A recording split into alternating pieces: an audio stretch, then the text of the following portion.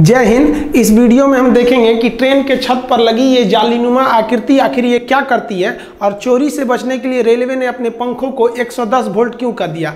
और ट्रेन का जो एसी होता है, ये कितने टन का होता है? इसकी क्षमता कितनी होती है? और ये इसके नीचे इस तरह से सिलिंड्रिकल ड्रम क्यों लगाए रहते कोच के बाहर यहाँ लिखा रहता है, साइड फिलिंग इसका मतलब क्या होता है? और यहाँ लिफ्ट हियर क्यों लिखा जाता है? रेलवे अपने ट्रेनों में से इस तरह के स्क्रू कॉपलिंग को हटाकर सीबीसी कॉपलिंग को क्यों करना चाह रहा है? और ट्रेन के अंदर लगे इस लाइट्स का मतलब क्या होता है, जो बीच में लगे रहते हैं। साथ ही रेलवे अपने टॉयलेट को, जो C D T S toilet थे, इसको हटाकर ये अभी कन्वर्ट करने जा रहा है बायो टॉयलेट में।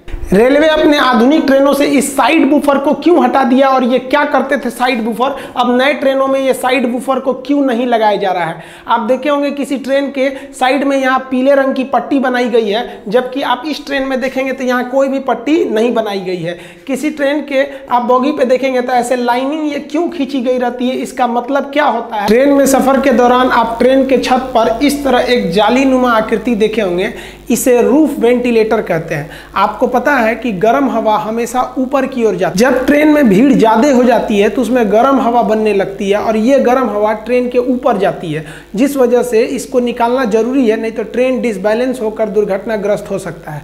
तो इस हवा को बाहर निकलने के लिए जाली दे दिया जाता है और इसको ऊपर की ओर, ट्रेन के ऊपर देखेंगे तो इस तरह से निकलने का रास्ता दे दिया जाता है और उसको केवल इस तरह से ढक दिया जाता है कि बारिश के दौरान डायरेक्ट पानी अंदर ना आए। तो इसे हम लोग रूफ वेंटिलेटर सिस्टम कहते हैं।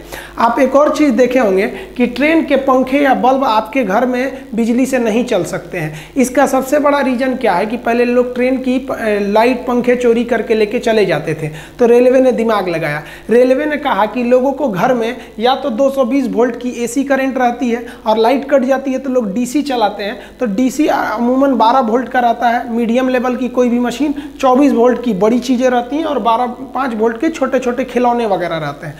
यानी रेलवे समझ गई कि एसी अगर घर में चाहिए तो 220 वोल्ट, और डीसी चाहिए तो 24 या 12 चाहिए। तो रेलवे ने दिमाग लगाया। रेलवे ने अपने पंखे तथा बत्ती को 110 वोल्ट डीसी दे दिया। अब किसी के घर में 110 वोल्ट डीसी रहता ही नहीं है। अब क्या करिएगा ले जाके ये तो ये आपके लिए एकदम बेकार हो गया। इससे रेलवे की सामानों की चोरी रुक गई। ये 110 वोल्ट डीसी कहाँ से आता है? तो ट्रेन के नीचे लगे, इस बैटरी बॉक्स से आता है। आप ट्रेन के नीचे देखे होंगे, इस तरह से एक बैटरी बॉक्स लगी रहती है। इसी बैटरी बॉक्स से आता है। और आप गौर किए होंगे कि ट्रेन के जितने चार्जर वगैरह होते हैं ना, ससुरे आधे से ज़्यादा तो जले हुए रहते हैं। ऐसा क्यों होता है? आपको पता है पावर इज़ इक्वल टू होता है voltage into current P is equal to V into I यानी अगर आप वोल्टेज को कम करिएगा तो धारा यानी करंट बढ़ जाएगा। अब ट्रेन में 110 वोल्ट रहता है और घर में 220 वोल्ट यानी ट्रेन का वोल्टेज कम है। तो वोल्टेज कम होने से उसमें धारा बढ़ जाती है, इस वजह से तार के जलने की समस्या ज़्यादा बढ़ जाती है। इसलिए आप देखेंगे ट्रेनों में लिखा रहता है कि रात 10 बजे से सुबह छः बजे तक मोबाइल इत्यादि को चार्ज में न लगाएँ। ऐसा इसलिए लिखा जाता है कि चार्ज में लगाकर अगर आप सो गए हैं तो ज़्यादा देर तक उसमें सप्लाई रहेगी तो बहुत ज़्यादा धारा जाने से उसमें आग लग सकता है। कोच के अंदर की बैटरी को स्ट्रेंथ को चेक करने के लिए इस तरह से एक इंडिकेटर लगा दिया जाता है। आप ट्रेन में देखे होंगे, ऐसे इंडिकेटर लगे रहते हैं।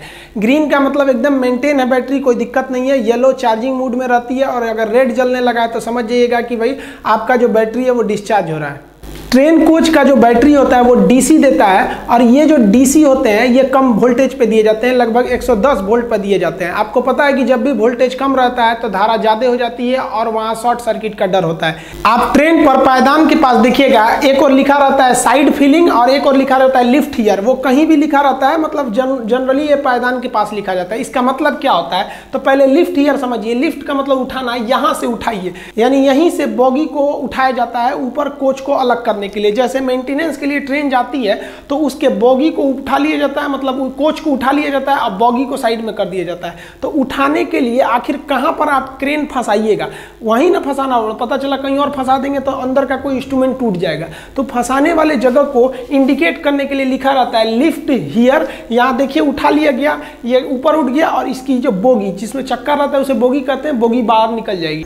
मेंटेनेंस के दौरान साइड लिफ्ट से ही हम कोच को उठा लेते हैं और नीचे का जो बोगी होता है, इस बोगी को डगरा दिया जाता है मेंटेनेंस के लिए या फिर इसके ऊपर कोई मेंटेनेंस का काम करना रहता है तो उसको हम ऊपर इस तरह से रोक लेते हैं।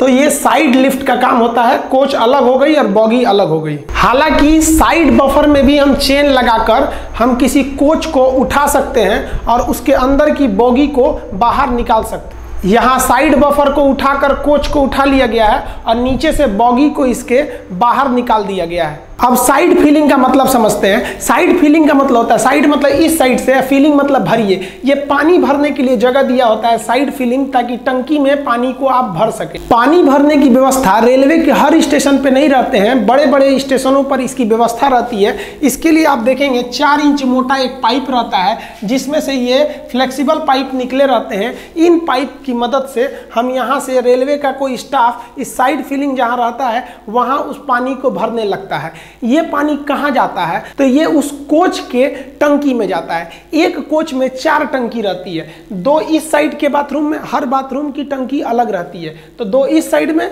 दो इस साइड में रहती है। यानी टोटल चार टंकी रहती है और एक टंकी की जो कैपेसिटी होती है वो 500 लीटर रहती है। और इसको भरने में 20 मिनट का समय लगता है। तो ये आप देखिए टोटल कैपेसिटी कितनी हो जाएगी?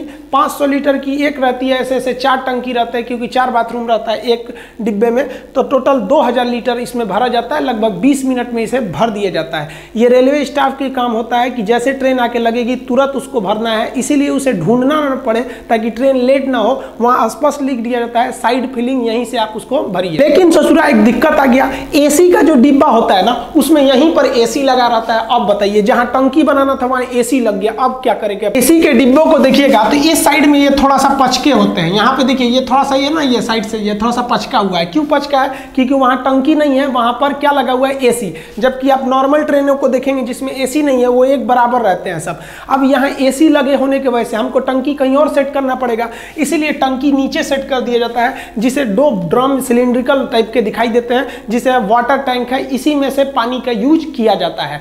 अब ये जो एसी लगे होते हैं, इसे हम कहते हैं रूफ माउंटेड पैकेज यूनिट ये दो ठो एसी होते हैं। एक इस दरवाजे के ऊपर होते हैं, एक उस साइड के दरवाजे पर होते हैं। हर एसी की क्षमता सेवन टन होती है। इसलिए एक ट्रेन के कोच में, एक डिब्बे में दो एसी है, अतः सात दूनी चौदह टन इनकी क्या हो गई? क्षमता हो गई। ये चलते हैं 415 वोल्ट के थ्री फ़ेज़ एसी सप्लाई से। इन्हें जनरेटर द्वारा दे दिया जाता है थ्री फ़ेज़ एसी सप्लाई।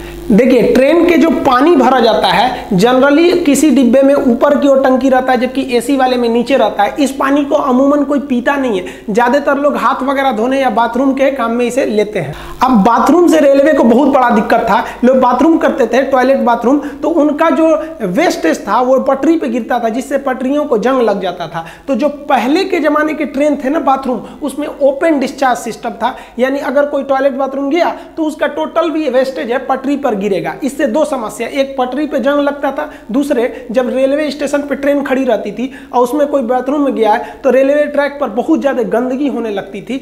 बड़े स्टेशनों पर तो इसे सफ़ाई कर दिया जाता था, लेकिन छोटे स्टेशन पर साफ़ करने की कोई व्यवस्था नहीं थी। इससे बचने के लिए रेलवे ने ओपन डिस्चार्ज सिस्टम को बंद किया। आप देखे होंगे, पहले के ट्रेन में एक पाइप ऐसे लटका रहता था नीचे साइड में, ओपन डिस्चार्ज। इसमें कोई रोकने के लिए कोई व्यवस्था नहीं थी, सीधे नीचे गिर जाता था। इसके जगह पर रेलवे इस राउंड शेप के टंकी को लाया, बाथरूम को सेट किया, जिसे कहा जाता है control discharge toilet system shortcut में कहेंगे तो सी डी टी सी ये क्या करता है? ये टॉयलेट को कंट्रोल करके रखता है जब तक कि ट्रेन की ट्रेन प्लेटफॉर्म को ना छोड़ दे। अब इस ससुरा को कैसे पता चलेगा कि ट्रेन में प्लेटफॉर्म को छोड़ दी तो इस पर एक सिस्टम लगा रहता है कि जब तक ट्रेन की स्पीड 30 नहीं हो जाती है 30 किलोमीटर पर आवर तब तक इसके अंदर से डिस्चार्ज का ढक्कन खुलेगा ही नहीं कि बाहर नीचे गिरे। लेकिन इस विधि द्वारा आप गंदगी को रोक सकते हैं। लेकिन गंदगी थोड़ी दूर पर तो हो ही रही है, और ट्रैक को भी ज़्यादा खतरा हो रहा है, क्योंकि उस पर जंग लग रहा है। इसके लिए 2011 में डीआरडीओ ने एक बैक्टीरिया के मदद से एक टॉयलेट को बनाया, जिसे हम कहते हैं बायो टॉयलेट बायो टॉयलेट आप देखे होंगे, आजकल हर एक ट्रेन में मिलेगा, एक चौकोर डब्बा लगा रहता है इस साइड में। इसके अंदर कई ठो पार्ट बने रहते हैं, उसमें बैक्टीरिया जीवाणुओं को डालकर डीआरडीओ भेजी रहती है। ये क्या करते हैं, हमारे टॉयलेट बाथरूम को उसको डिकम्पोज कर देते हैं, उसको छोटे छोटे टुकड़ों में तोड़ देते हैं, डिकम्पोज कर देते हैं और गैस बनाकर वो निकल जाते हैं। इसमें किसी तरह का मेंटेनेंस भी नहीं है ट्रैक पे गंदगी भी नहीं होगी और ट्रैक भी जंग लगने से बच जाएगा। अतः अभी के समय में जितने भी टॉयलेट है, वो डीआरडीओ द्वारा बनाए गए बायो टॉयलेट का ही यूज़ हो रहा है। ये सब आउटडेटेड हो चुके हैं। बायो टॉयलेट की एक खराबी है कि अगर उसमें आप कलम या कुछ कचरा प्लास्टिक डाल देंगे तो बैक्टीरिया अच्छा से काम नहीं कर पाएँगे। इसलिए लिखा रहता था, कृपया इसमें कचरा न डालें।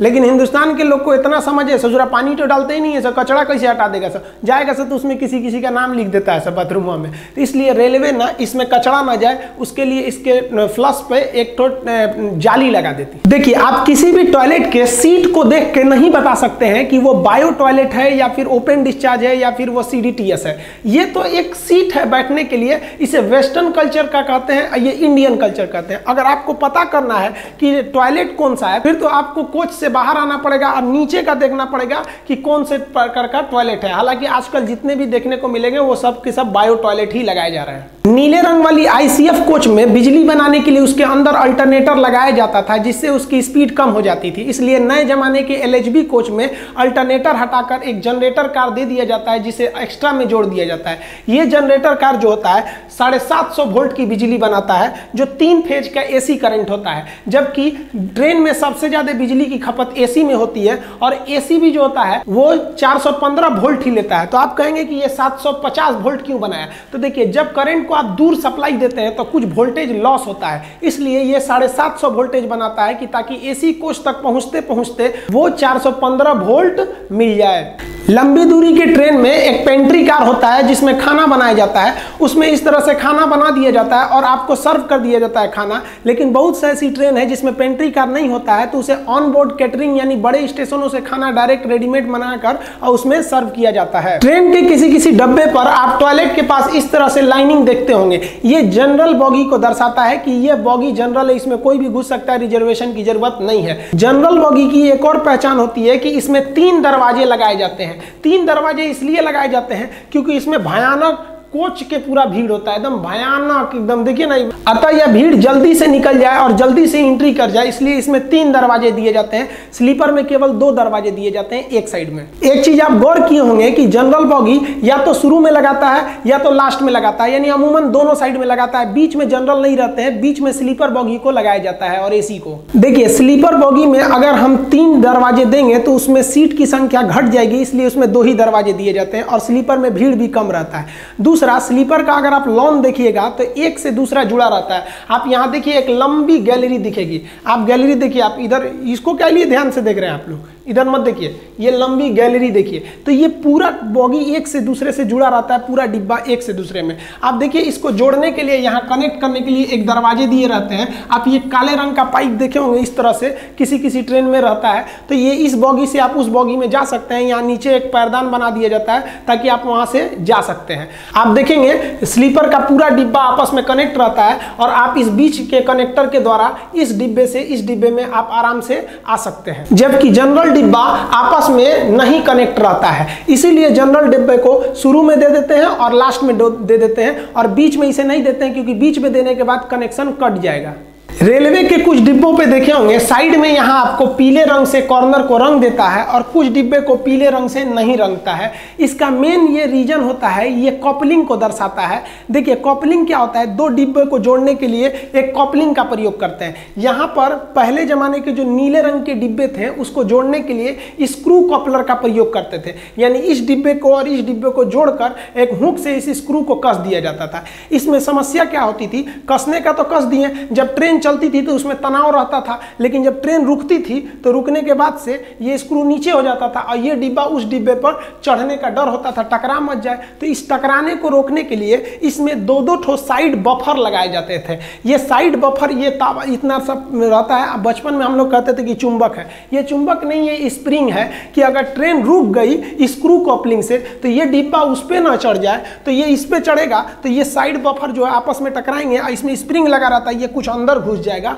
और फिर ये उसको ढकेल देगा। इस तरह से ये एक दुर्घटना को रोक सकती थी, लेकिन इसमें झटके ज़्यादा लगते हैं। दूसरा एक और डीमेरिट है कि इसमें आपको लोहे की बर्बादी है। दो दो तो साइड बफर जोड़ रहे हैं, इतना हैवी फिर इस डिब्बे को जोड़ने के लिए स्क्रू कॉपलिंग का प्रयोग कर रहे हैं। तो इतना क्यों किया जाए? तो रेलवे ने दिमाग लगाया, उसने ये बिना पीला पट्टी वाले के जगह पे एक पीला पट्टी वाला लाया और उसको उसने बदल दिया सेंटर बफर कॉपलर में। नए जमाने के जितने भी एलएचबी कोचेज है, इसमें आप कहीं पे भी देखिए, यहाँ साइड बफर नहीं मिलेगा आपको, बल्कि इसका जो कपलिंग होता है एलएचबी का, वो होता है सेंटर बफर कपलिंग यानी इसके बीच में ही जो बफर यानी स्प्रिंग लगाना होता है, उसी के मुँह पर एक क्या कर देते हैं कपलिंग भी जोड़ देते हैं। यानी वही डिब्बे को जोड़े रहता है और वही स्प्रिंग का भी काम करता है। आप देखिए, इसी को हम लोग कहते हैं सेंटर बफर देखिए, ये शुरुआत का हिस्सा किसका काम कर दिया? ये बफर का काम कर दिया यहाँ पर। यानी स्प्रिंग सॉकर का काम कर दिया, झटका नहीं देगा। और बीच में ये वाला मोटा सा हिस्सा, ये किसका काम कर दिया? कॉपलिंग का।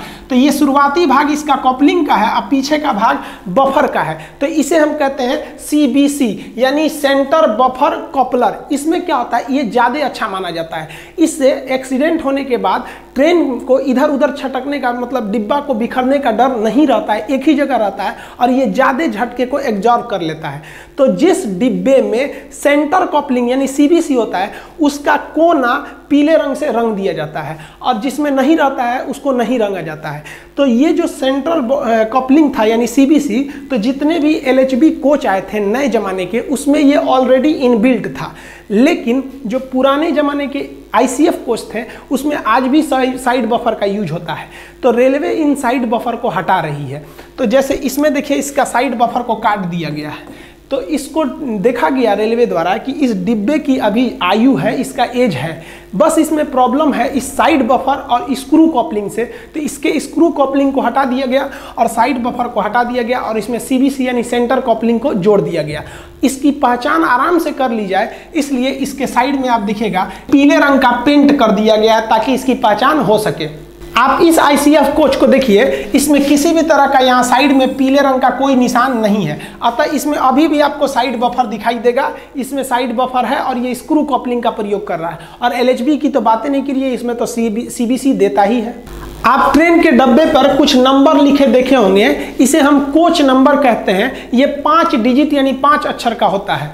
शुरुआत के जो दो डिजिट होते हैं, ये इस साल को दर्शाते हैं कि किस साल में ये कोच बना हुआ है। और लास्ट के जो थ्री डिजिट होते हैं, वो टाइप को दर्शाते हैं किस टाइप का ये कोच है।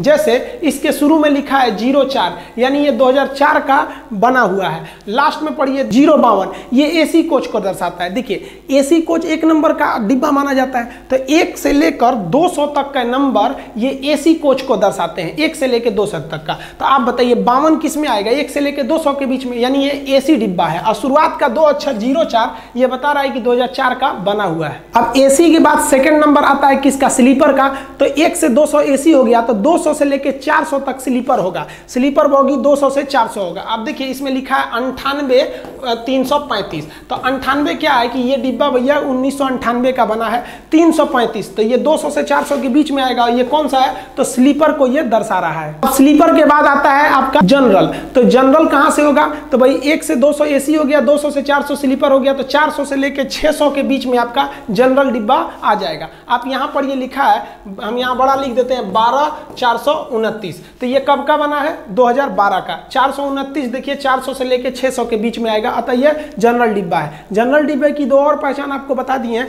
कि आपके दरवाजे इसमें कितने दिखाई देंगे, तीन दरवाजे इसमें दिखाई देंगे। साथ में, साइड में यहाँ इसे लाइनिंग भी दिखाई देगी। अब 600 से 700 चेयर कार को दर्शाता है। देखिए ट्रेन में जब भीड़ ज़्यादा हो जाए और सबको रिजर्वेशन नहीं दे पाती है तो कम दूरी के लिए चेयर कार दे दिया जाता है। उसमें काफ़ी अच्छा चेयर होता है, आरामदायक होता है फ़्लाइट के जैसे। जैसे जन शताब्दी हो गया, इसमें केवल आपको बैठने के लिए यही मिलेगा और इसका भी रिजर्वेशन होता है। तो वो चेयर कार के डिब्बा को दर्शाया जाता है। कहाँ से? 600 से लेके 700 तक के चेयर कार को दर्शाया जाता है। जैसे यहाँ लिखा है, ज़ीरो दो छः सौ पंद्रह। अब बताइए 2002 की बनी है 615 तो इसी के बीच में आएगा। ये जन शताब्दी ट्रेन है और ये चेयर कार डिब्बा को दर्शा रहा है। अब 700 से 800 तक का नंबर जो होता है, वो सीटिंग कॉम लगेज को दर्शाता है। जब कभी रेलवे को ऐसे डिब्बे भेजने रहते हैं कि जिसमें ज़्यादा सामान नहीं ले जाना है तो क्या करते हैं, उस डिब्बे में आधा बैठने का जगह बना देता है, सीटिंग के लिए और आधा लगेज को बना देता है। और इसी को हम लोग कहते हैं सीटिंग कॉम लगेज। इसका नंबर सात सौ से आठ सौ के बीच बीच में होता है। आप यहाँ पढ़िएगा,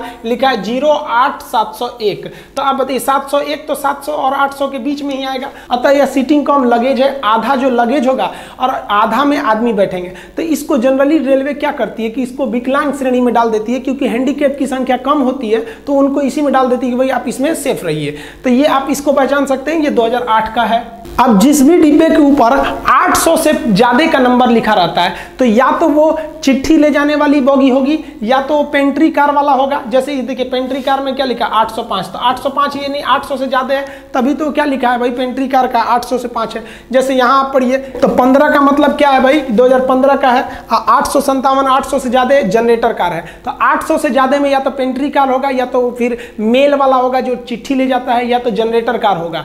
आप यहाँ एक चीज़ देखेंगे यहाँ सी लिखा हुआ है। सी किस चीज़ को दर्शा रहा है कि कॉपलिंग को दर्शा रहा है कि ये सीबीसी कॉपलिंग है और इसमें साइड बफर नहीं लगा है। अब ट्रेन के लास्ट में एक क्रॉस बना रहता है जो ये बताता है कि पूरी ट्रेन जा चुकी है, यही लास्ट डिब्बा था और यहाँ लास्ट में आपको एलवी लिखा रहता है। एलवी का मतलब होता है लास्ट व्हीकल यानी आखिरी डिब्बा अब निकल गया है। टेंशन फ्री ट्रेन कहीं से टूटी नहीं है बीच से, आप टेंशन फ्री रहिएगा।